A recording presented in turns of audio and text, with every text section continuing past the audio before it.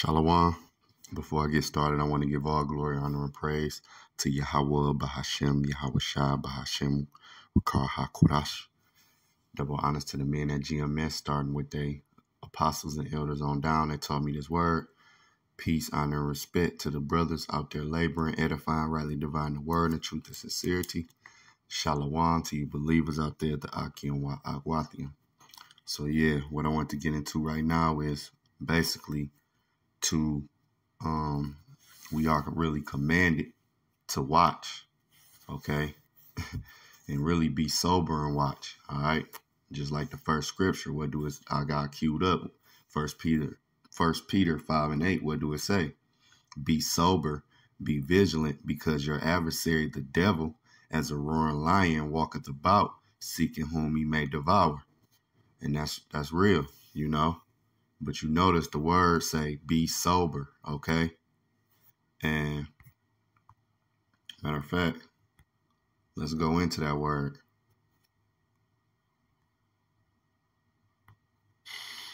Strong's G 3525. nepho. nepho. All right. And what do it say? To be sober, to be calm and collected in the spirit. All right. To be temperate dispassionate, circumspect. All right. And when you go down here and follow in manner, say be sober and watch. Okay. We are commanded to watch. All right. Because in this world, you know, particularly, especially over here at, in America, Babylon the Great. Okay. You have all these distraction, distractions as far as like social, social media and TV. Uh, might be a job. Okay you know, or lack thereof of a job. Okay. Uh, your fin which run into your finances. I mean, you got, you know, your family drama, friends, spouse, okay, kids, which can tie in with family. All right. And I'm not saying don't attend to your family or work or things of that nature, but at the same time, everything is a balance. All right. And we are not to fall asleep being too entangled in the world. Okay? When you go to uh First Thessalonians, the fifth chapter. All right, starting at one, what do it say? But of the times and the seasons, brethren, all right, ye have no need that I write unto you, for yourselves know perfectly that the day of the Lord so cometh as a thief in the night. For when they should say peace and safety, then sudden destruction cometh upon them, as travail upon a woman with child, and they shall not escape. But ye brethren are not in darkness, okay, that that day shall overtake you as a thief. Ye are children, ye are all children of the light and the children of the day. We are not of the night nor of the darkness. Therefore, let us not sleep as do others, but let us watch and be sober. And again, there's that word sober again, as well as watch, okay? Because that's what's commanded of us, all right? Because in verse 3, it says, What? Peace and safety. Then sudden destruction cometh upon them.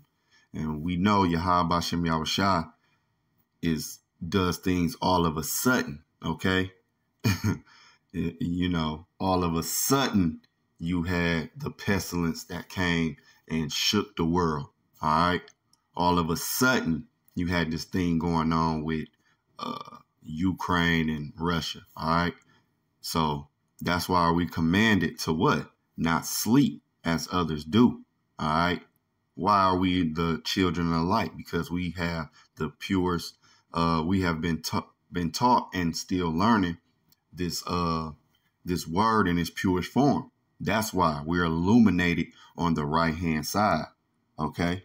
And we're commanded to what? To watch. Watch what? For the prophecies. All right. Which right now is jumping off the pages if you are watching and being sober. Okay. You know, like I said again, you have pestilences. Now you got the monkey business popping up. You have uh, the uproars in the people. You have the earthquakes in diverse places. You have what they contribute to climate change, the weather doing all different type of things. All right. You got all of these things going on, not to mention uh, the wars and rumors of wars. Okay. And creeping up, you have what? The famine, the famine. Okay. And the MOTB. all right. So this is why we are to watch to be sober, as well as watch by self analyzing ourselves in the spirit. You know, being aware of, you know, taking in what we doing, our moves. All right. Keeping our head on the swivel, watching our surroundings. Okay. Watching the people we around. Okay. These are things that we are commanded to watch. Okay. Because what did our Lord tell us? Our Lord told us what? To hold fast. All right. When you go to Matthew 24 um, and 42, what did it say? Watch therefore, for ye know not what hour your Lord doeth come. But know this if the good man of the house had known in what watch the thief would come, he would have watched and would not have suffered his house to be broken up. Therefore, be ye also ready. All right. Again, therefore, be ye also ready, for in such an hour as you think not, the Son of Man cometh. And that's where it goes back to suddenly. Okay. That's why when you go when you in uh First Thessalonians the fifth chapter, what did it say? Let us not sleep as others do, because all of a sudden to them, all right, the Son of Man gonna come. But for us, okay, that's watching, being sober, all right, holding fast to this doctrine, okay, we are somewhat anticipating, even though we don't know that hour, okay? And we are to hold fast. Hold fast to what? This word, okay? Knowledge and wisdom should be the stability of our times, okay? What do it say in Proverbs chapter 4? All right, second verse. It says, For I give you good doctrine, forsake ye not my law. All right, and that's not only talking about the 613 laws, what is coined as the Mosaic Law, it's talking about this book in its entirety. All right, we are to hold fast to this. All right, to this word because this word is what's going to uh, contribute to our be, us being preserved. Okay, and it's going to contribute into, like I said, analyzing ourselves in the spirit. You know, uh, in deed, in thought, in word, okay, and it's teaching you how to um better uh, act, have that chance at salvation. Even though everything is predestined, this word is basically the insight, okay, to the mysteries, okay, to the prophecies, as well as how to act, okay. it's instruction booklet, instruction booklet, all right. And this is what we basically have been commanded. Okay. When you go to Ephesians, the sixth chapter.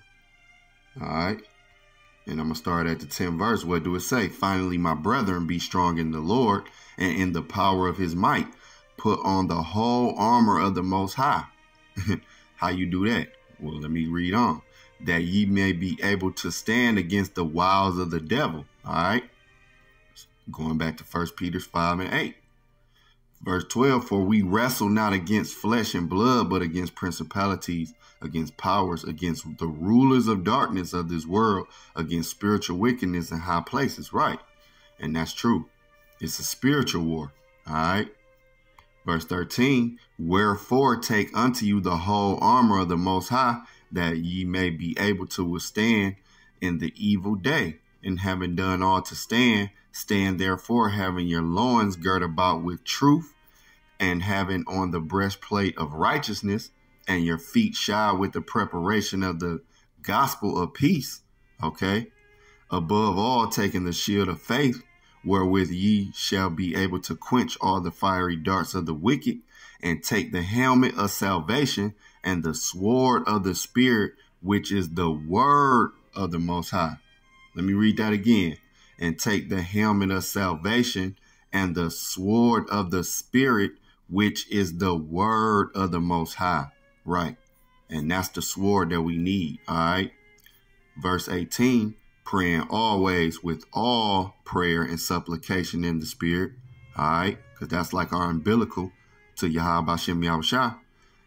Continuing on and watching, okay, and watching thereunto with all perseverance and supplication for all the saints. All right, so I just wanted to bring this out, Lord willing, it was edifying. To the next lesson. Shalom.